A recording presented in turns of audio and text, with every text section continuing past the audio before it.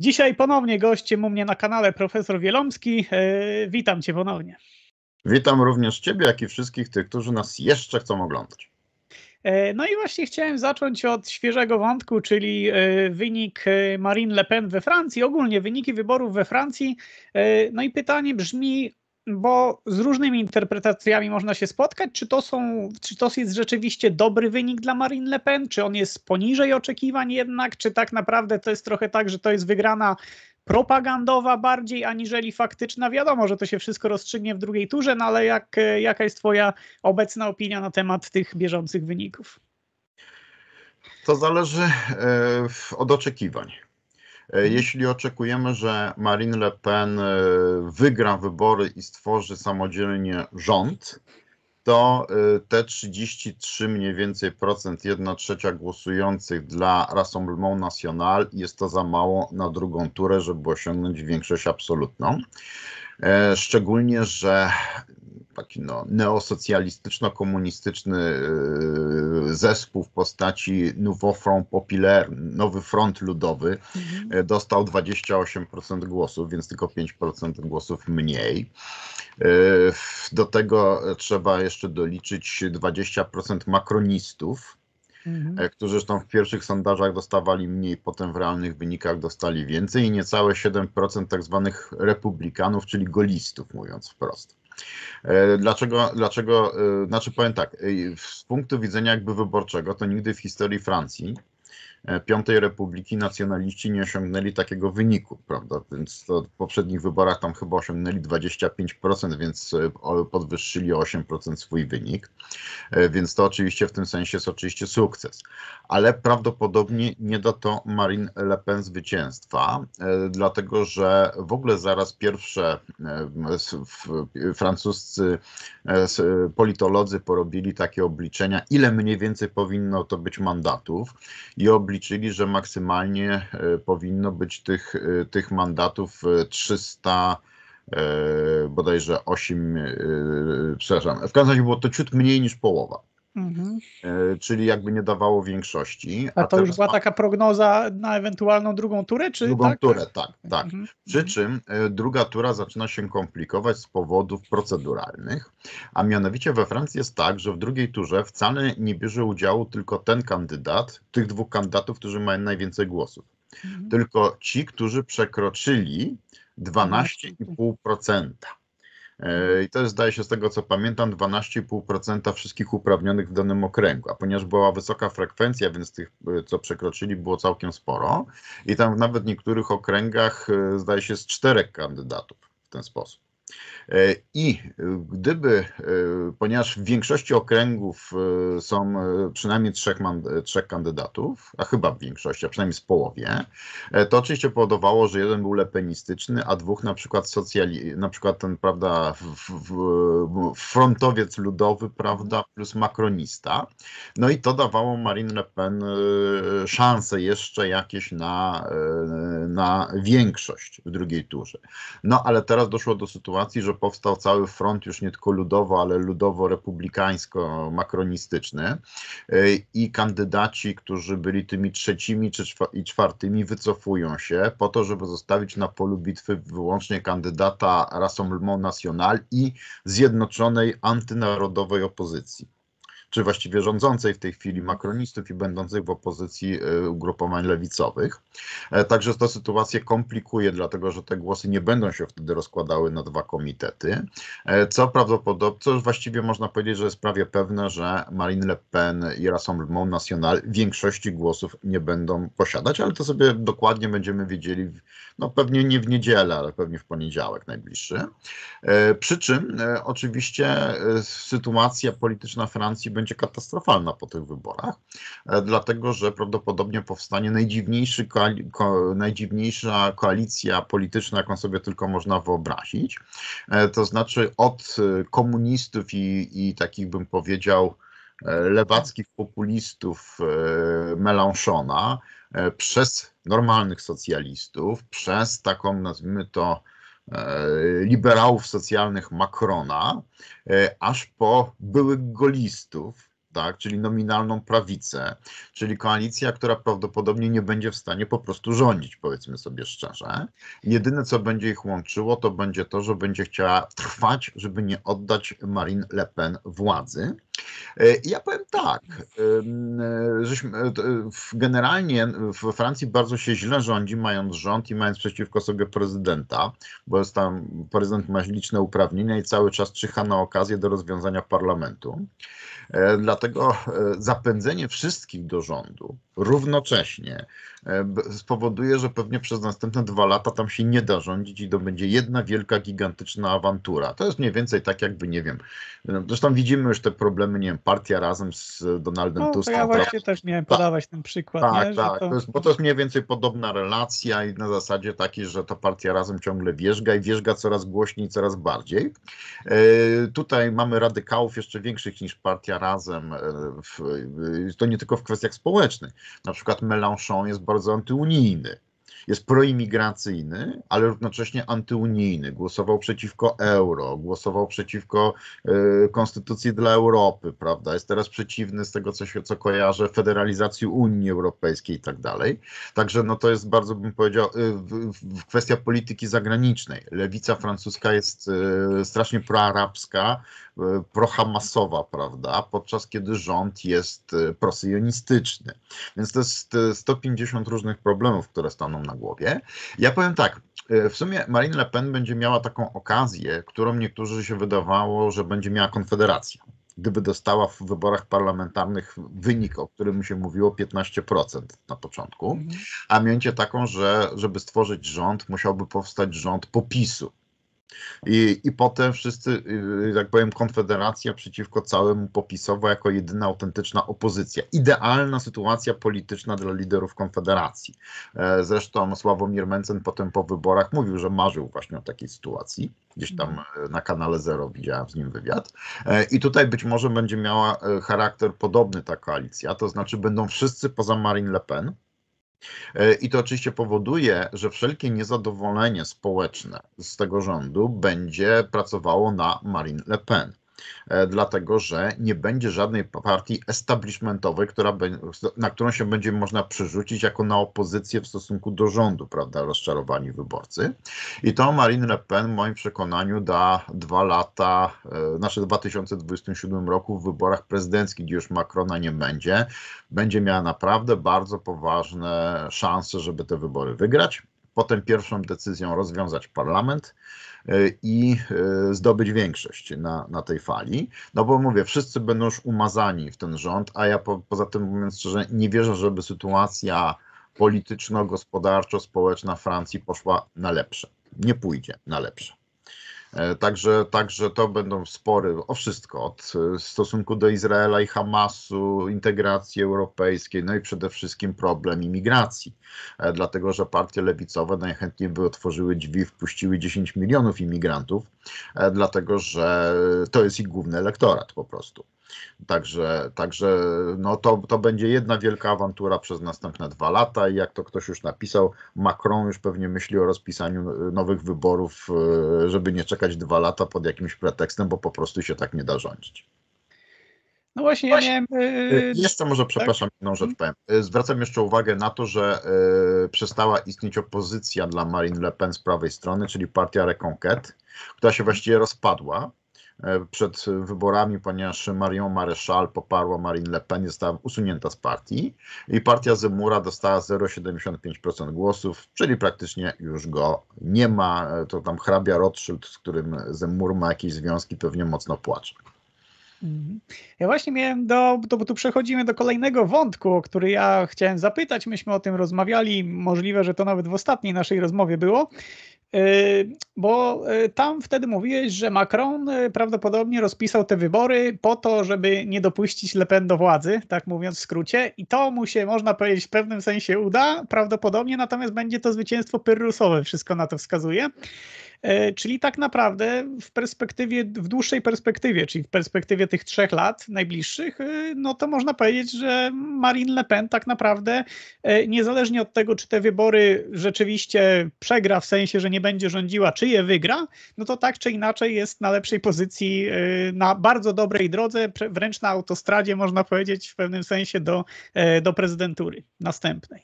Tak, dlatego, że będzie jedyną partią opozycyjną. To jest mhm. idealne, bo zauważcie Państwo, że u nas ciągle cały teatrzyk trwa na tej zasadzie. Jak Ci się nie podoba PiS, to możesz zagłosować na PO. Jak Ci się PO znudziło, możesz zagłosować na PiS, na, na trzecią drogę, na PSL, na Polskę 2050, na Lewicę. A tu nie będzie tych alternatyw, bo one bo wszystkie będą wszyscy razem. Tak. To jest na zasadzie, na zasadzie wszyscy, y, wszyscy zgromadzeni, tylko wziąć podbierak, prawda, e, do góry, prawda, i wyrzucić, y, i wyrzucić z bajorka. E, także to jest ta sytuacja, y, no, do, do której ja nie ukrywam, zawsze chciałbym doprowadzić w Polsce, e, żeby zmusić PiS i PO do współrządzenia, po to, żeby nie było na zasadzie takiej, że no nie, no ci zawiedli, to zagłosujemy na drugich i to już trwa od 30 lat w ten sposób, prawda.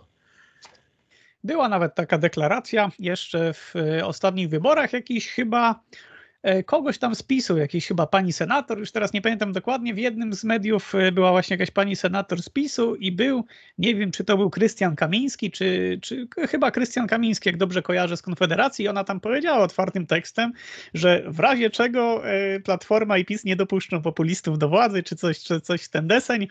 Także, także ja myślę, że to w Polsce również byłoby realne przy odpowiednich oczywiście warunkach. Póki nie trzeba tego spełniać, no to oczywiście obie strony tego nie chcą spełnić, żeby móc się się zamieniać, e, ale też e, w tym wątku takiej koalicji od e, Sasa do Lasa widzę jedną taką rzecz u nas, że Marek Sawicki bardzo mocno ja go nazywam w pewnym sensie rekinem, że rekin bardzo mocno zaczyna kąsać Kamysza, bo widzi, że Kamysz jest słaby i ja bym się również wcale nie zdziwił, jakby prędzej czy później doszło do rozwalenia tej obecnej koalicji poprzez Sawickiego, który, bo to ja sobie kiedyś czytałem też e, e, statut PSL-u i tam w statucie PSL-u to wcale tak trudno premiera nie jest. Przynajmniej premiera prezesa nie jest tak trudno zmienić, nie? Nie Także tak jak wcale w partiach z udziałem Korwina. Słucham? nie tak jak w partiach z udziałem Korwina. E, także, także prezesa nie jest tak łatwo, nie jest tak trudno, nie jest tak trudno zmienić, jeśli chodzi o PSL, więc y, no, bym się w ogóle nie zdziwił, jeśli by się tak y, zdarzyło, że ta koalicja dosyć szybko by się rozpadła, jak już by Marek Sawicki e, się tam dorwał do tej prezesury. E, myślę, że koalicja ma dwa słabe punkty. Pierwszy to jest ta partia Razem, tak, no tak, tak. Tam tak, jest cały czas spięcie ogólnie na linii lewica PSL są na tak, największe tak, ciśnienie. Tak, największe, ale również e, w lewicy samej, pomiędzy lewicą, nazwijmy tą mhm. główną, tak, a partią razem, dlatego że lewica to są cwaniaki polityczne. Które nie mają tak naprawdę żadnych poglądów, powiedzmy sobie to szczerze, a partia Razem wierzy w socjalizm. I to jest jakby ten mhm. problem, że oni chcą zrealizować jakieś swoje postulaty programowe, na którą ci pozostali z lewicy patrzą jak na szaleńców, nie? Na tej zasadzie. E, to jest pierwszy punkt słaby, a drugi no to jest właśnie w PSL-u, no bo Marek Sawicki zdecydowanie reprezentuje w PSL-u taką frakcję, nazwijmy to konserwatywną. Ja się z tego śmieję, nie? Ja się z tego tak. śmieję, że ZSL jest obrońcą wartości konserwatywnych w rządzie, tak mówię to wiadomo, trochę ale to, nie jest, ale to nie jest wcale takie zabawne. Zauważmy, że frakcją, nazwijmy to konserwatywną w lewicy zawsze był Leszek Miller. No to prawda, to prawda. Tak, y, Leszek Miller to o ile w tej chwili dla współczesnej lewicy tam prawda program y, LPG, LPG nazwijmy to w ten sposób. No. Tak, jest programem najistotniejszym punktem programowym, właściwie całym hasłem i tak dalej. To ja pamiętam jak Leszek Miller był premierem i kierował lewicą. No to y, zawsze to wyglądało w ten sposób, że ustawa o związkach partnerskich pojawiała się na trzy miesiące przed wyborami. E, trafiała do komisji, gdzie oczywiście nie miała szansy być rozpatrzona i trafić z powrotem. E, po czym, ponieważ e, no, wnioski poselskie wszystkie jest, nie ma zasady ciągłości, no to w Nowym Sejmie już tej inicjatywy nie było, bo nie miała ciągłości. I potem na trzy miesiące przed wyborami znów się pojawiała i trafiała do komisji. E, także także to, to jest ta różnica pomiędzy ZSL-em i nazwijmy to sta, sta, starymi PZPR-owcami, a tą, bym powiedział, e, z jednej strony tą lewicą nowo, nowoczesną, prawda, lewacką taką, e, światopoglądowo, a z drugiej strony takim no PSL-em, ja wiem, co to w ogóle jest w tej chwili, jakaś taka partia wiejskiej inteligencji, prawda, o jakichś takich poglądach mało konserwatywnych, chłopskich i tak dalej. No, poseł Sawicki to, no, to jednak jest zdecydowanie bardziej konserwatywny element. Zresztą nie mówię, że nieinteligencki, bo ma doktorat przecież. E, mhm. Także, także zresztą pamiętam w Siedcach zrobiony, jeszcze na ówczesnej Akademii chyba Rolniczej w Siedcach. Także, także to, to i, i widać jest, że on wyraźnie tutaj oponuje przeciwko temu radykalizmowi, radykalizmowi yy, obyczajowemu, który również niestety w PSL-u się zagnieździł.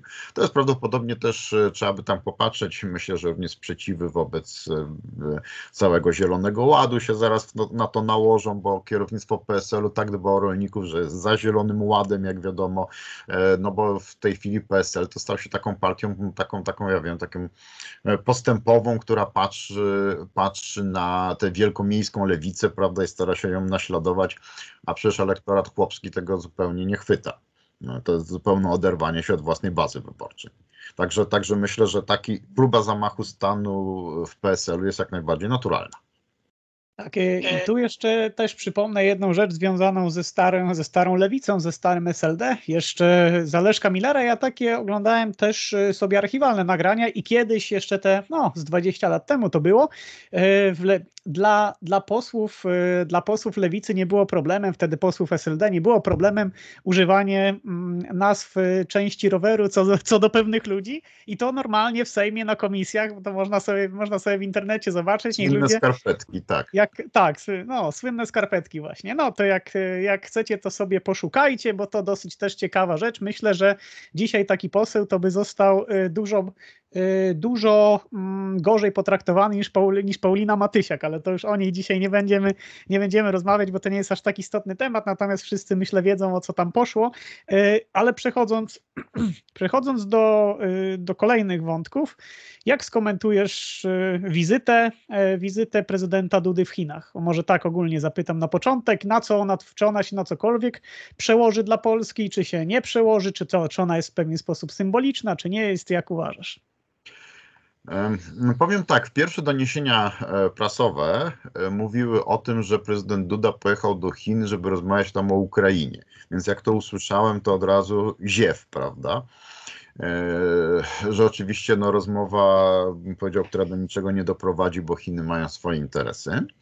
E, potem rozpoczęły się e, ataki ze strony Donalda Tuska, jego otoczenia, prasy, mediów, różnych tam, prawda, troli, botów przeciwko prezydentowi Dudzie, że pojechał do kumpla Putina, kraju totalitarnego i tak no dalej. Tak. Więc to takie zastanawiałem się o co chodzi.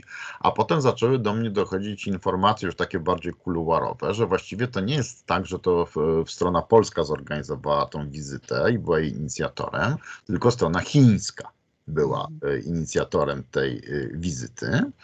E, I no, to, by, to, to, jeżeli byłoby to prawdą, a mówiła mi to osoba, która no, jest tam gdzieś blisko i w pobliżu tych spraw polsko-chińskich, to by, zna, to by znaczyło, że może dojść tutaj do jakiegoś ważnego przełomu. Co ciekawe, również różnego rodzaju media, takie pisopodobne, zaczęły tą wizytę od razu chwalić i pojawiły się tam takie nowe dla tego środowiska hasła, że trzeba ponad różnymi różnicami polityczno-ideologicznymi, ro, robić wspólny handel i to jest wielki rynek, prawda, i tak dalej.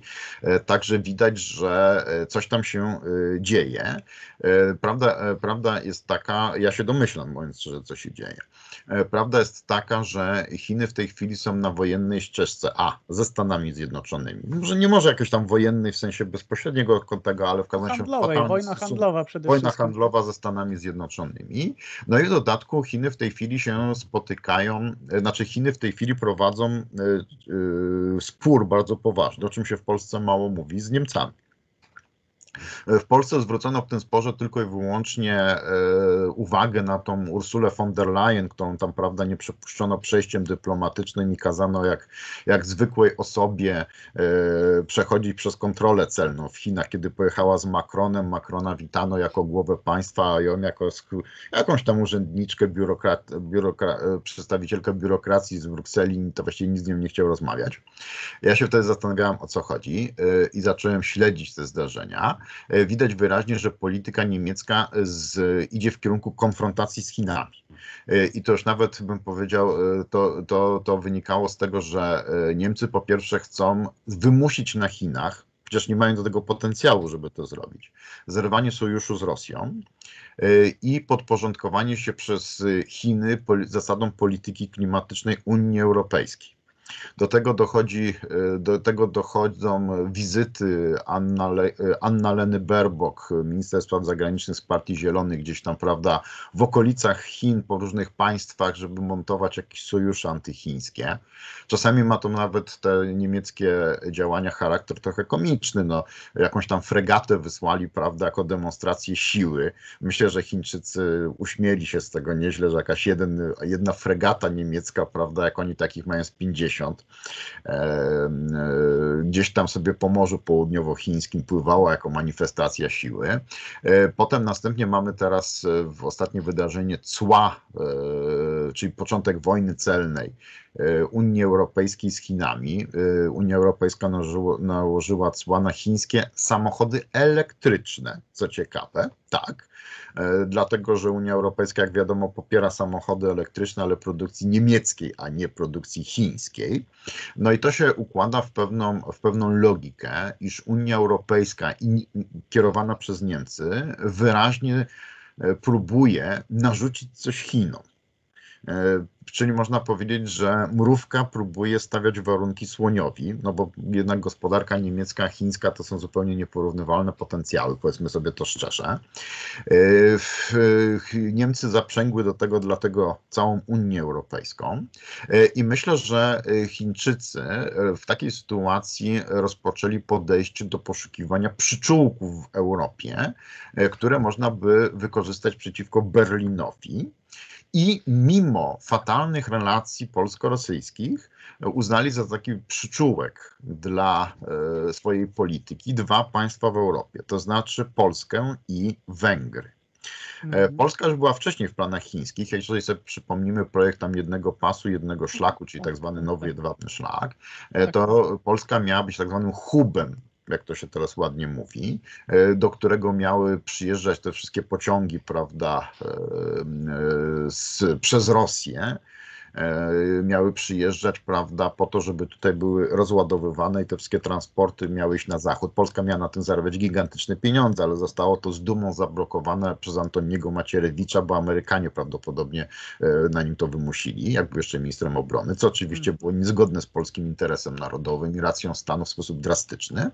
Stan e... dla polskich polityków, ale to tak, lećmy dalej. No. Tak, e, i tak samo takim hubem w tej chwili w miejsce Polski prawdopodobnie prawdopodobnie staną się Węgry, niestety, e, ale Chiny nie rezygnują i wyraźnie chcą tutaj w tej części Europy budować przyczółki niezależności od Berlina.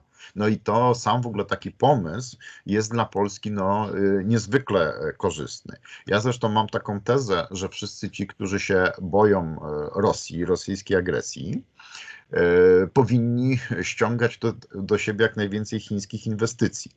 E, również Ukraina gdyby była suwerennym i niezależnym państwem e, po zakończonej wojnie z Rosją, uważam, że najlepszą, lepszą gwarancją niż wszystkie tam gwarancje pisemne Francji, Wielkiej Brytanii, Stanów Zjednoczonych, Polski, Mołdawii Rumunii e, byłoby, byłoby dziesiątki miliardów chińskich inwestycji. E, dlaczego? Dlatego, że w razie jakiegokolwiek groźby konfliktu zbrojnego cesarz Xi wtedy bierze telefon i dzwoni, prawda, na Kreml i mówi, że słuchajcie, tutaj żadnej wojny nie będzie, dlatego że tu, tu, tu, tu, tu i tu są chińskie inwestycje. Myśmy w ten kraj zainwestowali 50 miliardów dolarów, prawda? I nie zgadzamy się na to, żeby teraz to niszczyły wasze czołgi i rakiety. To jest moim zdaniem, moim zdaniem, e, bo, bo problem polega na tym, że e, zaangażowanie Chin w Europę do tej pory było jednak stosunkowo słabe. E, I Chiny, jeżeli chcemy, aby były, stały się również graczem geopolitycznym w Europie, muszą mieć tutaj interesy. I czym więcej w tą część Europy zainwestują, tym bardziej będą zainteresowane pokojem, utrzymaniem. I czym bardziej ktoś się boi Rosji, W moim przekonaniu tym większą powinien przyjąć inwestycje chińskie, ponieważ wtedy ma e, większą, większe prawdopodobieństwo, że cesarz Xi w razie czego zadzwoni do Putina i powie, że tu są chińskie inwestycje i my się na wojnę tutaj nie zgadzamy. Dlatego, dlatego ja osobiście tą wizytę e, prezydenta Andrzeja Dudy oceniam niezwykle pozytywnie. No właśnie, bo jest jedna rzecz, która nie do końca mi się w tym wszystkim spina, mm, mianowicie to, że jak to jest, y, że prezydent Duda mm, podejmuje, podejmuje taką wizytę, która jest rzeczywiście, ja również tak uważam, bardzo pozytywna dla Polski, gdzie w tym wszystkim są Amerykanie, a jeszcze ciekawostka jest taka, e, bo nie wiem, czy to się obiło szerszym echem, natomiast to, co mówiłeś na początku, czyli, że e, najpierw środowisko Donalda Tuska, środowisko wyborcy, tam już jak zwał, tak zwał, nazwijmy je szeroko po prostu środowisko związane z rządem, e, krytykowało tę wizytę, tutaj Duda pojechał do komunisty, bla, bla, bla i tak dalej, natomiast potem Donald Tusk też zrobił bardzo ciekawą rzecz, czyli stwierdził, że również ocenia pozytywnie wizytę e, prezydenta Dudy właśnie w Chinach. Tutaj dodajmy to do tego i, i właśnie, właśnie dlatego mówię, że jakby to jest ciekawa rzecz, którą zrobił Donald Tusk, też mnie zastanawia e, z czym to się wiąże, no i zastanawia mnie to, gdzie w tym wszystkim są Amerykanie, że, że pozwolili prezydentowi Dudzie zrobić, e, zrobić, właśnie te, zrobić właśnie to, co zrobił, czyli wybrać się do Chin, no i prawdopodobnie właśnie, no powiedzmy zawalczyć o jakiś tam przyczółek w Polsce Polsce, tak, tak to może nazwę. E, coś mi się obiło w mediach o tym, że coś tam burknęli, że im się to nie podoba. Mhm. E, to znaczy, ja myślę, że oczywiście byli świadomi, choćby tutaj przez swoją agenturę, że taka wizyta będzie, ale chyba nie spodziewali się, że tam, ponieważ tego, co mi wiadomo, tą wizytę przygotowywała głównie chińska strona. Mhm. Prawdopodobnie nie spodziewali się, że będzie ona w Chinach tak nagłośniona. E, tam w Chinach w ogóle jakieś dni kultury polskiej porobiono przy tej tak, okazji. Tam, tak, w telewizji były jakieś tam filmy o Polsce i tak dalej. Także to widać, że Chińczycy zwrócili na tą wizytę uwagi. Jest to jakiś projekt geopolityczno-handlowy chiński e, i myślę, że dopiero jak e, Amerykanie to zobaczyli, to zaczęli coś tam, prawda, burzyć burczeć sobie.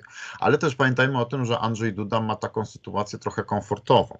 Otóż nie może mieć już trzeciej, trzeciej, w, w trzeciej prezydenckiej prawda, kadencji. Generalnie jego pozycja krajach zachodnich jest słabiutka, szczególnie w Unii Europejskiej, w Stanach Zjednoczonych moim zdaniem też. On tak naprawdę nie może liczyć na żadne stołki typu tam, nie wiem, szef NATO, prawda, e, wiceprzewodniczący Komisji Europejskiej czy cokolwiek w tym stylu. E, dlatego e, myślę, że jego kariera polityczna w tym momencie dobiega końca, on to wie i właściwie teraz już może sobie trochę zagrać po swojemu no bo, no bo prawdopodobnie moim zdaniem nie będzie miał żadnych ofert, dlatego, dlatego to jest pytanie tylko, czy po tej wizycie e, w związku z takim no, małym pomrukiem niezadowolenia amerykańskim ktoś będzie chciał to kontynuować ktoś, kto się może mhm. spodziewać na przykład z Koalicji Obywatelskiej czy Polski 2050, prawda, że jeszcze go czeka jakaś kariera polityczna. Yy, I jakby tutaj niechęć Amerykanów może jej zaszkodzić. No zobaczymy, jak to będzie wyglądało. W każdym razie no jest do, z pewnością do, krok w, w dobrym kierunku, w kierunku tego, co ja zawsze propaguję, czyli politykę wielobiegunową Polski i, I to jest taki krok w kierunku, wreszcie jakiś kierunku wielobiegunowości i posiadania jakichkolwiek alternatyw geopolitycznych w stosunku do Stanów Zjednoczonych, czego PiS przez parę lat dobrych nie dostrzegało.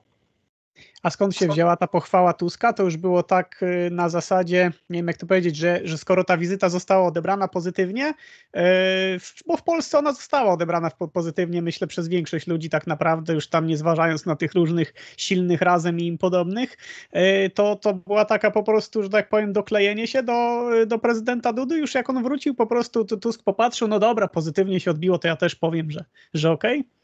Tusk ma to do siebie, że zawsze jak widzi, jak widzi, że 70 czy 80% opinii mm. publicznej coś popiera, to ma te same poglądy. Standardowe zagranie. Standardowe, standardowe, zagranie. standardowe zagranie zdecydowanie. Poza tym chyba, chyba e, też go jakby przerosło jego oczekiwanie, przyjęcie prezydenta Dudy w Chinach. No i w takiej sytuacji to jednak e, jakieś krytykowanie prezydenta byłoby krokiem antychińskim. E, powiem tak, nie powiem, żeby tam interesy Polski były dla Donalda Tuska najważniejsze, no ale interesy politycznego partii są dla niego jednak najważniejsze, prawda? I tutaj pójście przeciwko całej opinii publicznej po prostu byłoby głupie. No tak, e, to, no to takie dosyć rzeczywiście zachowania typowe dla Tuska. Przechodząc płynnie do tematu Stanów Zjednoczonych, miałem niesamowicie, mm, niesamowitą bekę, powiem wprost, jak zobaczyłem po debacie ostatniej y, Bidena z Trumpem, jak zobaczyłem, jak to się niektórzy przekonali, dowiedzieli się, dowiedzieli się pierwszy raz w życiu, odkąd Biden jest prezydentem, że Biden nie wie na jakim świecie żyje. I sobie tak przypomniałem wiele moich internetowych właśnie dyskusji, między innymi z Twittera, z ludźmi za, zapatrzonymi ślepo, ślepo właśnie w Bidena, który tutaj jest wielkim mocarzem, E, i, i, świetnie, i świetnym strategiem politycznym. E, no i teraz właśnie pytanie, myślisz, że zmienią demokraci kandydata, czy ben, bo to z jednej strony jak zmienią kandydata, to znaczy, że e, będzie, się, będzie przyznanie się do błędu, że na stołku prezydenta przez ostatnich kilka lat był człowiek całkowicie niewiedzący w ogóle, gdzie się znajduje z jednej strony. Z drugiej strony rzeczywiście Biden się bardzo mocno skompromitował w tej debacie, co też widać było po nagłówkach mediów mu przychylnych. No to ja mówię już nie tylko tych polskich, ale również tych zagranicznych. E, jak myślisz, jak to się dalej potoczy, jeśli chodzi o batalię prezydencką? Czy może, nie wiem, tam wsadzą Michelle Obamę albo tego Gavina Newsoma? Też tam był taki pomysł tego gubernatora Kalifornii. Jak to, e, jak myślisz, jak to dalej będzie wyglądało? Każdy ruch jest zły. E, ja powiem tak, to, to że tak, wszyscy, którzy mają Twittera od czasu do czasu mogli zobaczyć jakieś filmiki z Bidenem, który próbuje usiąść w powietrzu, prawda, gdzie nie ma krzesła, e, rozmawia z... Przepraszam, że przerwę, oni nawet tak. zrobili, e, zrobili taki challenge internetowy, już teraz nie pamiętam jak go dokładnie nazwali, a teraz tak sobie nazwę, nazwę roboczo, do Biden czy coś takiego i tam w te różne takie pozy się wcielali Bidena tak, właśnie tak. siadającego. Ja i tak, tam witać się z jakimiś osobami, odwracać się, żeby powitać jakieś osoby, których nie było, prawda, e, i tak dalej. Także to właściwie nie jest zaskoczenie. E, ja powiem tak, to z punktu widzenia, że rządził przez e, Stanami Zjednoczonymi ktoś, kto ledwo nie kojarzy, to jest prosto wytłumaczyć. Jak go wybierali, to jeszcze kojarzył, po prostu potem po, pojawiły się problemy. Gorsze jest coś innego. No, no ktoś tylko, go tylko jeszcze, znaczy właśnie tak, wiesz co, bo tak jeszcze zanim on objął prezydenturę, to on już miał takie momenty tak. ciężkie, że on faktycznie nie ogarniał, ale jak go tam jeszcze może naszprycowywali jakimiś lekami, to on dawał radę, ale tak, potem tak. ale potem to już całkiem wszystko padło, nie? Ja osobiście przypuszczam, że to jest demencja. No ja, ja też tak e, przypuszczam. Tak i problem polega na tym, ja miałem w rodzinie jedną osobę z demencją. Demencja ma to do siebie, że bardzo różnie się posuwa. Czasami posuwa się latami powoli, no i wtedy Biden by sobie jeszcze te wybory mógł na przykład wygrać, prawda? I potem by ona mu się posuwała, w pewnym momencie by zrezygnował na rzecz Kamali Harris na przykład. A mhm. czasami jest tak, że demencja e, w ciągu kilku tygodni czy kilku miesięcy kogoś zjada i tego chyba się nawet nie da przewidzieć. E. I odnoszę wrażenie, że po prostu gwałtownie przyspieszyła, czemu sprzyja jakby no jego tryb życia, no to znaczy tryb życia na walizkach, prawda, i, i gdzieś tam ciągle w ruchu. E, no i w tej chwili rzeczywiście, rzeczywiście demokraci mają problem, no bo ich kandydat jest właściwie niepełnosprawny, można powiedzieć, no mhm. powiedzmy sobie to szczerze. E, I jest oczywiste, że jest w tej chwili taką marionetką jak Breżniew pod koniec swojego życia. I w tym stanie to on powinien sobie siedzieć przed telewizorem i pić ziółka parzone przez rodzinę. E, I teraz każde rozwiązanie jest złe, dlatego że jeśli go teraz wymienią, no to się przyznają, że wybrali, prawda, e, na kandydata na prezydenta, wskazali, wiedząc w jakim jest stanie przecież, skazali, no można powiedzieć, trochę marionetkę już w tej chwili. Jest też bardzo silne paliwo dla Trumpa, nie? Bo on to tak, będzie, on to, on to tak, będzie tak. całą kampanię pompował. Tak, ten... oczywiście. Można w takiej sytuacji wymienić, ale to jest przyznanie się do porażki, to jest kompromitacja. No. E, no i pytanie oczywiście na kogo? Moim zdaniem Kamala Harris, tak jak na nią patrzę, to nie jest jakaś specjalnie charyzmatyczna osoba. E, oczywiście można jakąś tam, nie wiem, Michelle Obamę czy kogoś, no ale to tak trochę mm, nie widzę tego, powiem szczerze. E, żeby z tego wyjść marketingowo z twarzą. Ja powiem tak, w sumie najlepiej dla nich było, jakby, było, jakby Biden, nie wiem, ciężko się rozchorował, e, nie wiem, zszedł z tego świata nagle, dostał, e, nie chcę mu życzyć źle, bo to nie w tym sensie mówię, tylko po prostu, że, że stałoby się coś, co by wytłumaczyło nagłą rezygnację. E, a tutaj, tutaj właśnie problem polega na tym, że to jest choroba, demencja jest chorobą, która nie powoduje nagłego takiego, prawda, e, odejścia, tylko jednak no, w czasie rozłożony i teraz się głupio do tej całej sytuacji przyznać. Nie wiem, co oni zrobią. E, Kamala Harris jest jakby w tym momencie jako wiceprezydent dotychczasowy i kandydatka na wiceprezydenta najbardziej naturalnym kandydatem, ale chyba nie mającym szans na wybór. To jest ten problem.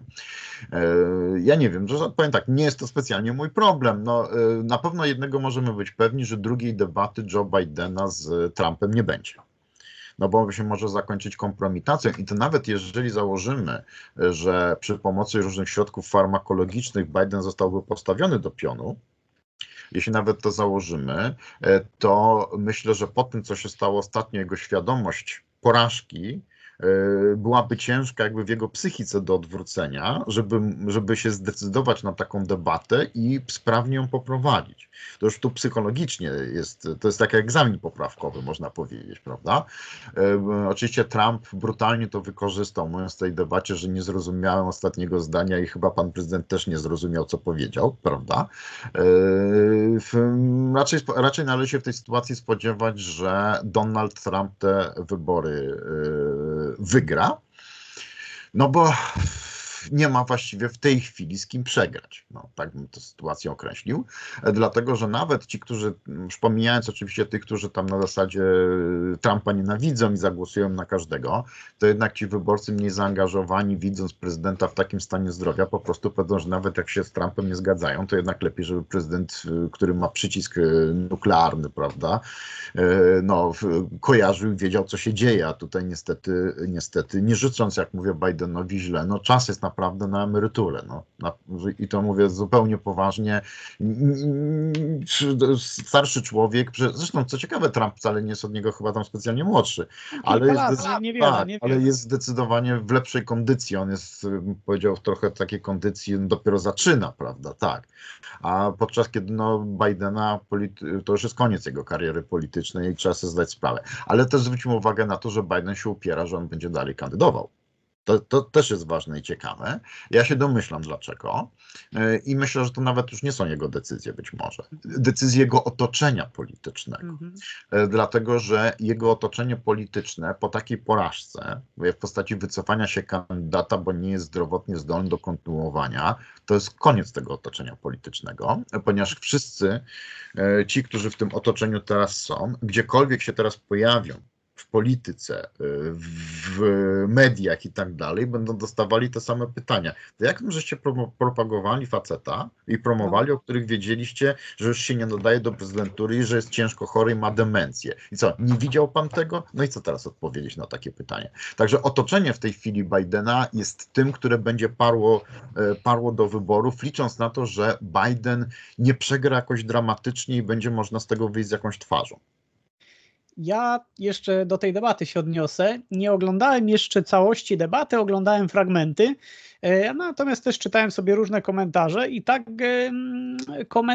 te komentarze są wspólne mm, w, w takiej jednej kwestii, że ta debata była generalnie o niczym ważnym, a największą zaletą Trumpa się okazało to, że on wie na jakim świecie żyje, a Biden nie wie na jakim świecie żyje, co jak na mocarstwo, na mocarstwo czy na kraj, który twierdzi, że jest mocarstwem, no to wygląda to powiedzmy sobie umownie i to bardzo lekko, no wygląda to bardzo słabo. No jeśli największą zaletą kandydata na prezydenta prezydenta y, mocarstwa jest to, że on wie na jakim świecie żyje, bo ja też przypominam, mm, przypominam tutaj przede wszystkim prawej stronie co jakiś czas, y, że Trump nigdy nie był, nie jest i nie będzie żadnym wielkim wybawieniem, że to jest człowiek, y, który przez lata był związany z establishmentem, potem troszkę, ale tylko troszkę, to zawsze też przypominam, na ten establishment się obraził i, i to jest tyle i to jakby nawet sobie popatrzeć na, no teraz, jak mamy, jak mamy kwestie związane z Izraelem.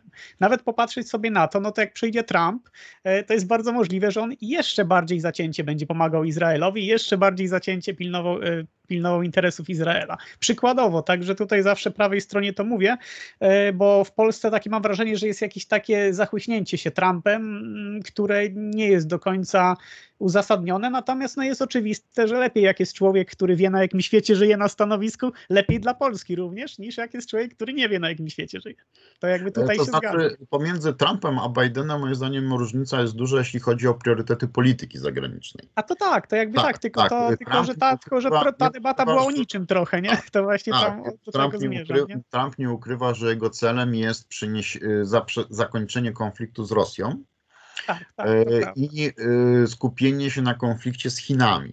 To znaczy, Trump zdaje, zda, zdaje sobie świetnie sprawę z tego, że administracja Bidena popełniła potworny błąd, a mianowicie y, konfrontowała się z Rosją i z Chinami równocześnie, Mhm. będąc przekonanym, że sojusz rosyjsko-chiński jest niemożliwy. No i się okazało, że jest możliwy i to Biden odpowiada. No nie wiem na ile odpowiada, bo był świadomy, No, ale jego, jego otoczenie, wiesz, to tak, tak, ale swoim nazwiskiem za to odpowiada na powstanie sojuszu rosyjsko-chińskiego. E, Biden uważa, że zdecydowanie silniejszym e, komponentem tego sojuszu są Chiny i ma całkowitą rację.